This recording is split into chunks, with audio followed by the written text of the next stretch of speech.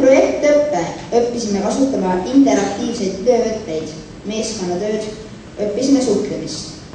mitmete projektide ja tegevuste läbivaks sõnumiks on arvuti, turvalisus internetis, keskkond, kodanikualgatus, meedia ja nii edasi. tänaseks on see kursus läbi saanud. oleme õppinud palju, oskame leida teavet erinevatest allikatest, oskame kasutada kaasaegseid infotehnoloogia võimalusi teabe hankimiseks, korrastamiseks ning esitamiseks. näiteks tekstid, kaardid, pildid, andmetabelid ja diagrammid. koos minuga aitavad tänast õhtut läbi viia Gert Mander,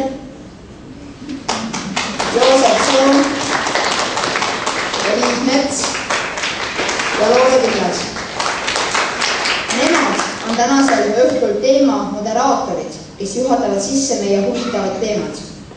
Esimeseks on sõna Gert Manderil, kes juhatab sisse meie esimese projekti Puud meie ümber. mis on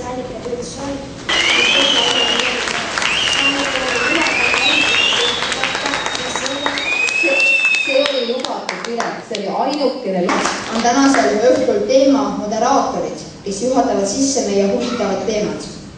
esimeseks on sõna Gert Manderil, kes juhatab sisse meie esimese projekti Puud meie ümber